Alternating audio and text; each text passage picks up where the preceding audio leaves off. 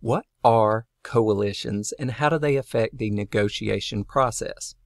Well, a coalition is a subgroup or group of two or more individuals who join together and combine their resources and use those resources together to affect an otherwise mixed motive situation or outcome, such that the common outcome might satisfy those individual motives that each member of the coalition obtains, even though the mo motives are not exactly the same. Okay, so with that being said, when you have this scenario where two individuals come together in a coalition, two or more individuals, numerous challenges arise. One, what's the optimal coalition size? How many people should be part of this grouping? Uh, there's always issues with trusting each other, and there's always the temptation to defect or pursue your own interest uh, at the expense of the interest of the coalition. And then once you do arrive at an outcome, one that otherwise somewhat meets the interest of all parties to the coalition, how do you divide up the pie, as they say, or how do you split the reward or proceeds of the outcome of the negotiation? This is a very difficult scenario. So let's look at a couple of tactics that can help with this process. So here are some commonly understood or commonly recognized practices uh, that are effective in the coalition scenario. Number one, make contacts early. If you work before the no negotiation with plenty of time and ability to align your interests, to establish common understandings, and to get to know each other's personalities. This can help a great deal. Get verbal commitments to that point. Have people establish their position, establish their willingness to coalesce around this objective or common objective or goal.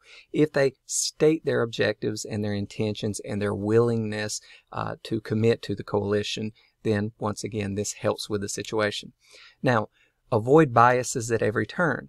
Avoid biases in establishing roles, avoid biases in uh, allocating the reward or the pie, as they say, um, that results from the negotiation. So make certain you're taking an approach that incorporates the point of view and demonstrates some level of common understanding of the group's interest. Okay, uh, make certain to share all relevant information. We know that communication breakdowns are a huge uh, hurdle that groups face. So sharing all information broadly and limiting or avoiding uh, side conversations or side uh, agreements among members of the coalition can once again avoid issues that commonly arise. Okay.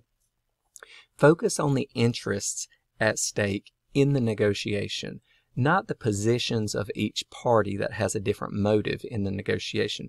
Focus on the ultimate intent and the outcome, and if it is important identifying an acceptable outcome to consider the individual interest, make certain that everyone is aware of the interest of anyone so you can focus together collectively on an outcome that can meet those interests and everybody's fully understood. Okay.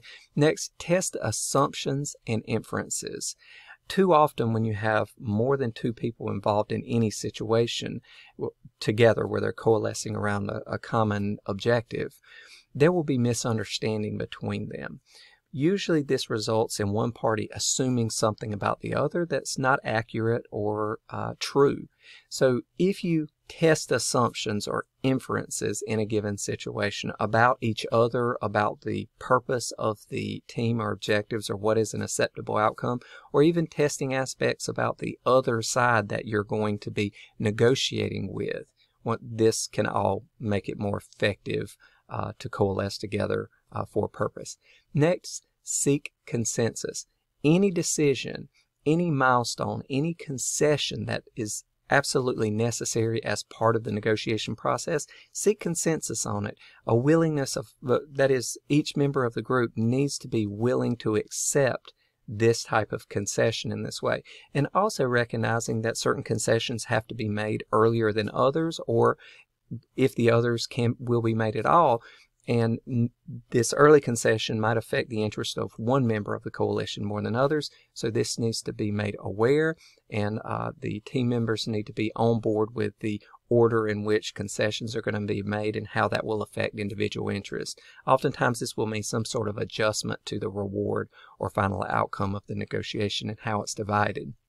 Okay, uh, make certain you always explain yourself holding things in or making assumptions, as we talked about in testing assumptions and inferences, uh, means that others are going to have some understanding that they perceive from a given action or situation.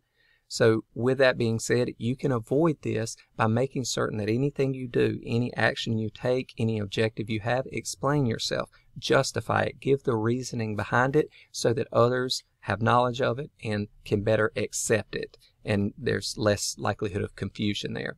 Now, conflict almost is inevitable in a group scenario like this, even if it's a very minor conflict. Make certain you have a plan in place for dealing with it.